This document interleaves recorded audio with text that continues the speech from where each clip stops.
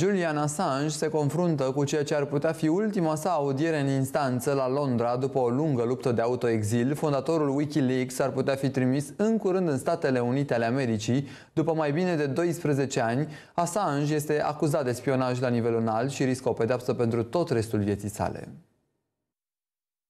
Julian Assange a fost inculpat în 2010 pentru 18 capete de acuzare legate de publicarea de către Wikileaks a sute de mii de documente clasificate. Procurorii susțineau la acea vreme despre el că a conspirat cu un analist de informații al armatei americane ca să spargă un computer al Pentagonului cu scopul de a elibera informații diplomatice secrete și fișiere militare referitoare la războaiele din Irak și Afganistan. Assange a susținut de-a lungul întregului scandal că doar a acționat ca un jurnalist terorist și nu a vrut decât să dezvăluie ilegalitățile armatei americane. Acesta a fugit din Statele Unite în 2012 și a căutat mai întâi refugiu în ambasada Ecuadorului din Londra, unde i s-a acordat și azil politic. Șapte ani mai târziu, însă, guvernul Ecuadorului i-a retras statutul de azilant și a fost arestat de poliția britanică pentru că nu a respectat condițiile cauțiunii când s-a ascuns pentru prima dată în ambasadă. Assange a fost dus într-o închisoare de maximă securitate din Londra, acolo unde și-a întemeiat și o familie cu Stella Assange, femeia cu care are doi copii. Instanțele britanice au blocat până acum tentativele de transfer ale fondatorului Wikileaks, însă după o luptă de mai bine de un deceniu, Julian Assange ar putea ajunge totuși pe mâna autorităților americane. Avocații și familia sa sunt îngrijorați din această cauză și spun că o pedeapsă executată în Statele Unite ale Americii i-ar degrada și mai mult sănătatea mentală și fizică. Avocații săi cred că ar putea primi o pedeapsă cu închisoarea de până la 175 de ani, însă soția acestuia se teme că extradarea lui Assange i-ar aduce totodată și moartea.